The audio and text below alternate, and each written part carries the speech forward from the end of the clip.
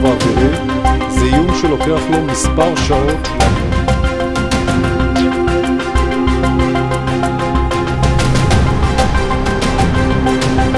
Israels Ministerpräsident Benjamin Netanyahu machte deutlich, dass sich seine Regierung